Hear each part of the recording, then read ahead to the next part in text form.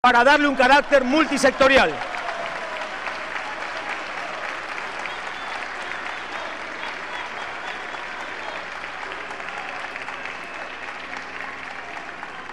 Realizando un esfuerzo financiero del Estado, iniciaremos un proceso gradual de eliminación del sistema uno por uno en el servicio policial.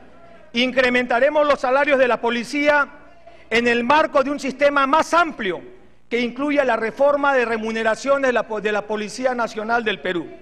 Activaremos un servicio policial voluntario. Equiparemos y conectaremos a las comisarías a la red digital. Estableceremos penales fuera de Lima y de las principales zonas urbanas del país e implementaremos el trabajo físico para los condenados por graves delitos.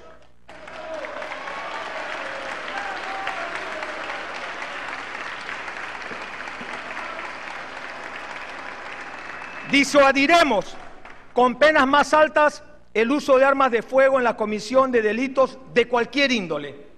En mi gobierno no habrá perdón para los violadores ni para ningún delito cometido contra un niño o una niña. Combatiremos combatiremos el feminicidio y propondremos una, una revisión de la legislación vigente. Ejecutaremos una política contra drogas que consolide el modelo peruano de desarrollo alternativo, integral y sostenible para convertir a los productores hoy ilegales en agentes de una economía legal. No seremos indiferentes frente al incremento alarmante de drogas entre los adolescentes y jóvenes.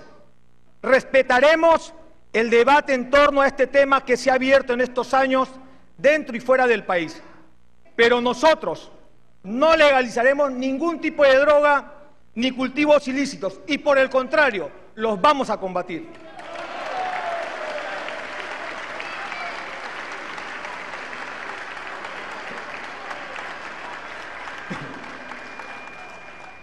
Nuestra política antidroga será soberana y reclamará que se haga realidad la responsabilidad compartida con los países consumidores Seremos inflexibles en el control de los insumos químicos y el combate a las bandas de narcotraficantes.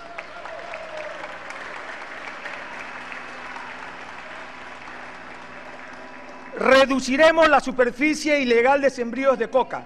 No permitiremos la extensión de cultivos ilegales, menos aún en parques nacionales y zonas ecológicas. Al mismo tiempo, el Perú podrá tomar la iniciativa de una cumbre presidencial regional antidrogas con la participación de los países productores y consumidores, a cuyos presidentes he percibido muy preocupados en este tema.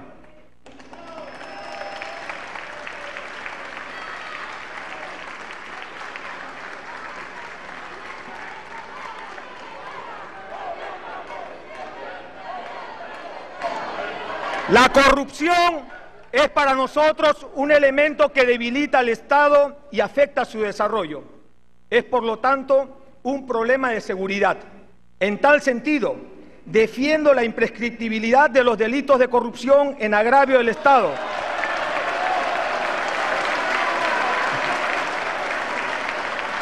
Y la, y la inhabilitación, la inhabilitación a perpetuidad contra sus autores o cómplices para el ejercicio futuro de cualquier función pública. Propongo la supresión de las penas condicionales en las condenas por corrupción para que la prisión se cumpla de manera efectiva y defiendo la eliminación de los beneficios penitenciarios en los casos de corrupción. Debemos poner fin a las secuelas de la violencia terrorista que vivimos y cumplir con las reparaciones individuales y colectivas. Es necesario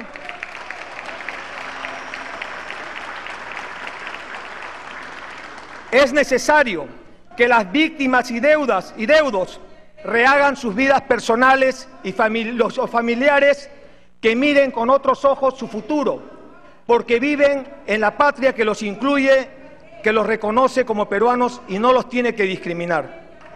En cuanto a la defensa nacional, en primer lugar, queremos recuperar la moral de nuestras Fuerzas Armadas y equiparlas de forma adecuada.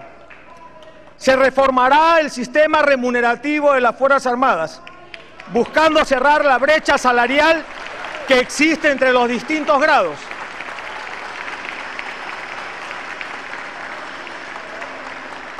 Esto se hará salvaguardando la obligación que tiene el Estado de honrar el pago de pensiones, que es un derecho fundamental consagrado. Mantendremos la pensión renovable y realizaremos ajustes salariales graduales. Nuestra primera inversión nuestra primera inversión militar será en el soldado. Fortaleceremos el servicio militar con incentivos mejorando el pago a los conscriptos e instalando un instituto tecnológico de las Fuerzas Armadas para la enseñanza de especialidades a quienes egresan del servicio militar.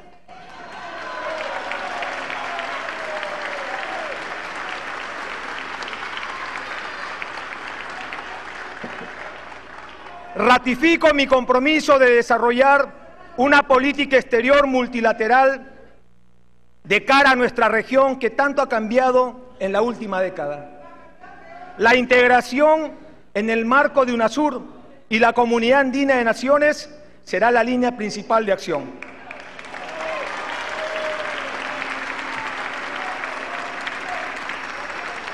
La solución pacífica de los litigios internacionales es la filosofía que me inspira y particularmente en relación a nuestros diferendos con Chile.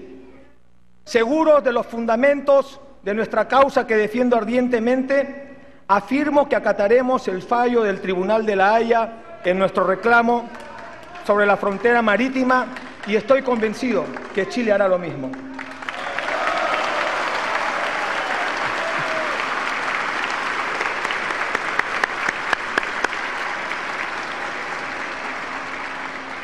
Vivimos en un mundo que cambia día a día y donde emergen nuevos poderes regionales. Las condiciones están dadas para llevar adelante una fructífera integración de la región. No deseamos, no deseamos una economía autárquica que se mira a sí misma aislada del proceso de globalización. Queremos más bien una economía integrada, integrada en primer lugar con la región, y en especial con nuestros vecinos andinos y sudamericanos. Nuestra región es inmensa y rica en, recursos, pero también en historia y en culturas comunes. Yo les quiero recordar que nuestra independencia fue un proceso regional, donde todos nos hermanamos para lograr nuestra libertad y soberanía.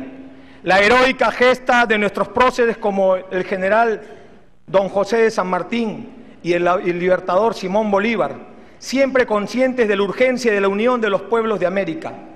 Fueron los precursores del impulso integrador del presente. Seguramente, escribía Bolívar, la unión es la que nos falta para completar la obra de nuestra regeneración.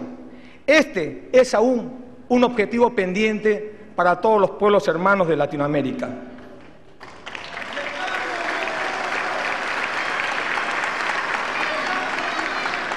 El gobierno se propone reconocer y reivindicar a los tres millones de peruanos migrantes.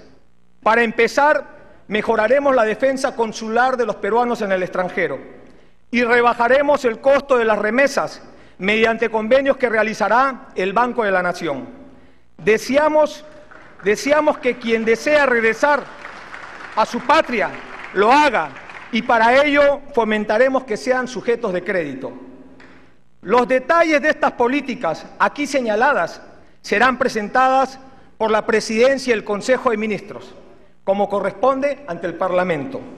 De la tradición militar que no olvido y llevaré en el corazón hasta la muerte, conservo el orgullo, el orgulloso, conservo el sentimiento de orgullo, la tenacidad, la austeridad y el amor por el Perú y sus intereses.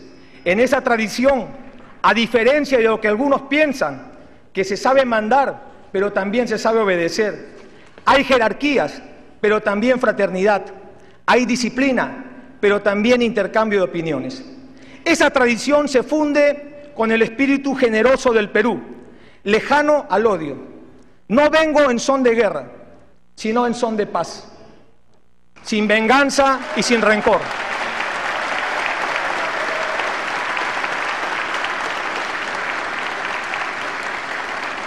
Yo, que he sido acusado de casi todo, he aprendido a perdonar hace muchos años, antes incluso de hacer política.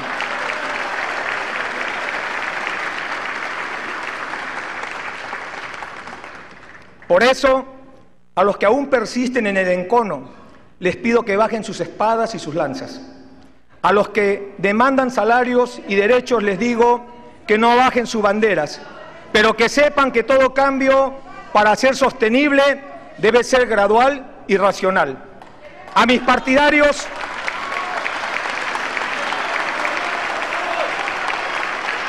A mis partidarios les pido consecuencia, lealtad, sacrificio, inteligencia y honradez.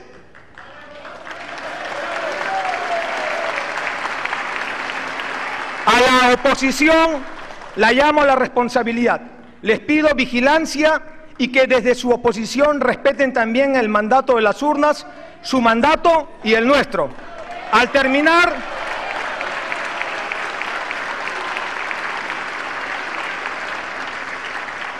Al terminar este mensaje, reitero que soy un soldado de la democracia. Y como dice la frase célebre de la independencia, firmes y felices por la unión. Muchas gracias a todo el país. ¡Que viva el Perú!